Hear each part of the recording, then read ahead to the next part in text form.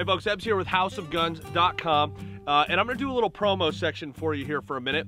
Uh, you might have seen it posted on my social media and elsewhere, not so much on YouTube. Uh, but I'm also part of another website, a sales website called houseofarms.com. We deal primarily in single shot rifle systems, specifically Thompson Center Arms and CVA uh, rifles. We just picked up the CVA Apex line of single shots too. One of my favorite barrels that we stock is this Katahdin style rifle barrel. Comes in limited calibers, 50 caliber muzzleloader, 500 Smith & Wesson, 460 Smith & Wesson, 4570 government. And I think that's it, right? just it's a 20 inch barrel already on this short break barrel receiver makes it a minuscule package. Uh, this is a Pro Hunter stock set, so it's got the recoil reduction system built into it. And this is my uh, Kryptek Typhon stock that Brett from Reaper Innovative Precision dipped for me. Uh, I put it on this stainless setup. This is an original Thompson Center New Hampshire frame that I did a trigger job on. The trigger's breaking under three and a half pounds, really crisp.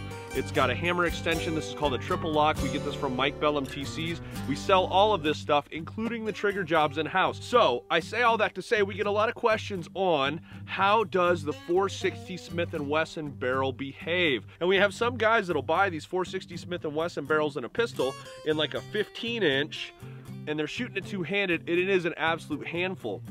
But one thing you can do is you can get this rifle with this, this heavy fluted barrel and a 20 inch barrel. It almost looks like an SBR, this little carbine setup. It's so small, weighs four and a half pounds.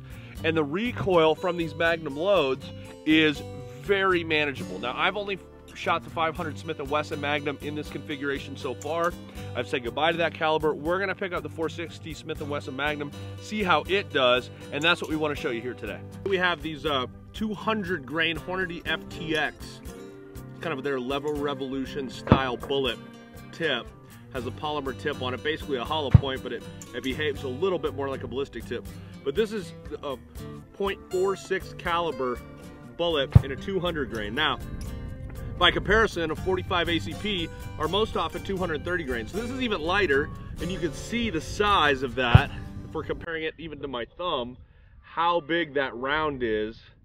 This is no puppy dog. So it makes sense to take a straight wall cartridge like this and put it in something uh, that's a rifle platform, but something extremely compact and versatile such as this. Now these come, these Katahdin barrels come standard with a Williams rear ramp peep sight. So you're adjustable for windage and elevation on the back end, and the front is equipped with a bright orange fiber optic sight. When I say bright orange, I mean this is designed to be shot with, uh, with both eyes open. So let's see how she does. Also with a gun like this, the hammer is your safety. There is no other external safety. Uh, so if the hammer is not cocked, the trigger cannot be pulled. When that hammer comes back, it's ready to rock.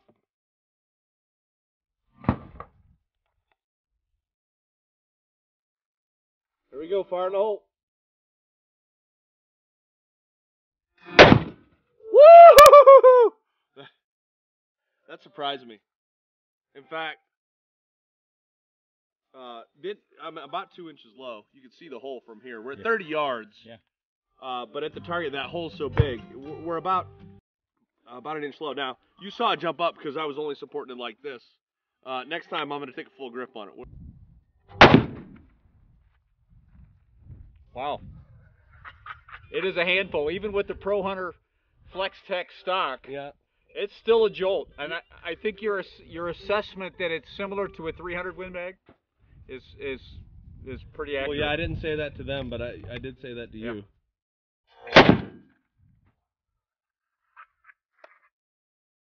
It's a hammer, isn't it? It is a hammer. Ohio and some parts of Michigan Ohio and have now allowed these straight wall cartridges. Okay. During during their regular rifle seasons. Correct. Right. So, uh, but in a 20 inch barrel, we're still seeing good accuracy from this. Let me shoot one more, hold it in the same spot, see how close I can get it to that first one, and then we're going to stand up and shoot it. All right, I'm going to take it seriously this time. That trigger's nice too.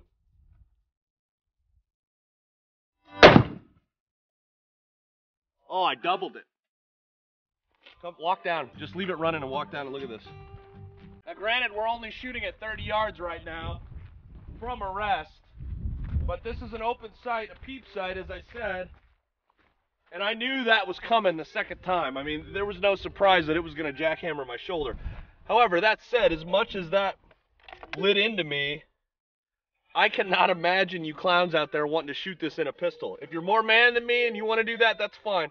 I value my wrists. However, to be able to do this, the first two shots I've ever fired out of this, at 30 yards with these open sights, uh, I'd say that bodes well for the future, wouldn't you? Yeah. I mean, so you guys that are wondering what uh, these 20-inch Katahdin barrels can do, definitely take a look at them. Eric, I'm hearing that guys are having accuracy, uh, great accuracy out to 200 yards with that round. Do we know if they're putting an optic on it and what that what that optic is? No, no, I, I don't think it's optic. Well, that's impressive. Cool.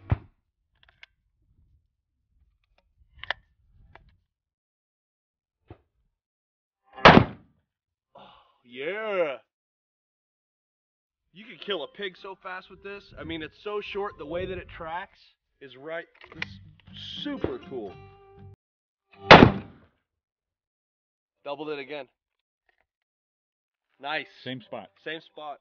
Standing this time. All right, your turn. Not bad. I think it's I think it's easier. Plus, I know what's coming now. Oh yeah, it's way better standing. Way better standing.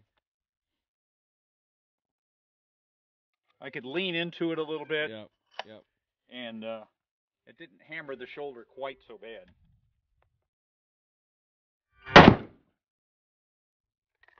Nice shooting. I mean, it's right there, Yeah. and it doesn't. It seems like it would take more effort for as big as that uh that fiber optic sight is on the front. Yeah. But uh, not fiber optic, but fluorescent orange on the front. But you get it there, covered up with it, and it's right there. Okay, folks. Here's what we've learned out here in just 20 quick minutes of putting uh, so eight rounds through this gun. It's a single shot. It's not going to be a volume shooter, uh, but we hadn't shot this before. We knew the 460 Smith & Wesson Magnum is an extreme handful in pistol configuration, whether that's a six shooter, uh, a large X frame Smith & Wesson. Uh, revolver or something like that even in the single shot thompson center style stuff it is a lot to handle we also learned just here really quick shooting it off the bench the first time that this is a handful even in rifle configuration. You're four and a half pounds with this setup right here. Considering your irons uh, being your optic and everything this is all you need to go hunt with. The triple lock the aluminum hammer extension we have on here weighs nothing. The trigger job doesn't change the weight of the gun at all. The dip on it even though that's a custom thing it doesn't weigh anything.